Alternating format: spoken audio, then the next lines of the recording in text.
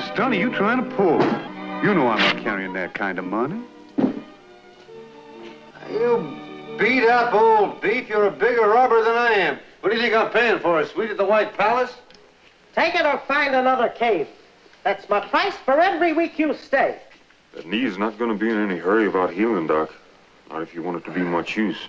And don't tell me you ain't got it. You always carry enough for a whole lot of money.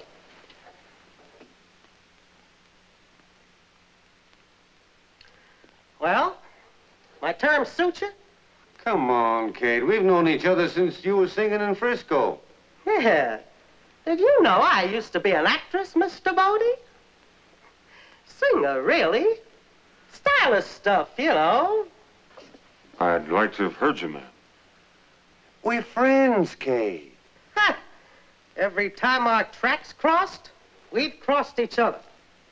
I wouldn't keep you at all, except your friend seems like a nice fella. Well, what was it this time and who's after you? You might as well tell me. I'll hear soon enough. Bank at Comanche, Heck Short. If Heck Short's in it, the price is double. What? And if you don't like it, you can... All right, all right. I want some information. Anything you can find out about the Kiowa Kid. I'll get it. Of course, it'll... I know, it'll cost me. And what's more, you'll work for your keep. That is, your friend will. I got a man to help me with the heavy work.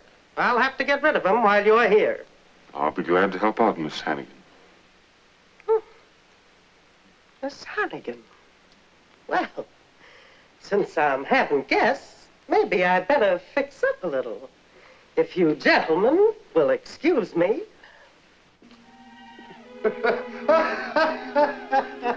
and the whiskey comes extra.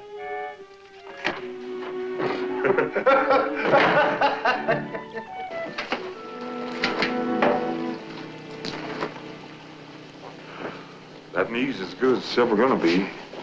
Time we were heading on. When we know where to head for, Been here almost a month now. It might not be safe much longer. Kate can't turn us in. Not now. I didn't mean that. Not that you would anyway. I gotta hand it to you. You've handled it just fine. You bring out the lady in her. Must be a strain on her keeping it up. But it's the first time she's combed her hair in 20 years. Yeah. You seem to handle a lot of things real good.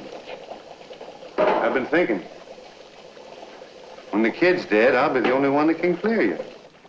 Suppose I didn't. What? I've been thinking. You might be too good to throw away. We don't get along bad at all, do we? You could do worse than throwing in with me. I'd teach you all the tricks. Like Kyle? You don't pick him very well, do you? He turns you in, and I still don't like it. I ain't asking to be liked.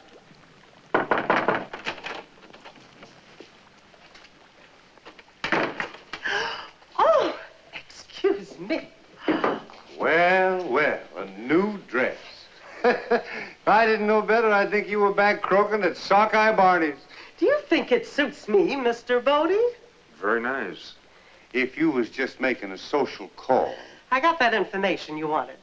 By the way, I was looking through an old trunk and I found a piece they wrote about me when I came to Frisco. They said I was Juno West. See? Juno was a goddess, you know. You, uh, really must have impressed them. Well, what did you find out? Man passing through says Kiowa was hanging out around Tularosa, where they got the big gold stripes, using another name. I don't know what. That far. He has got the wind up. We'll be going. Right away? Maybe you should wait. Get the horses.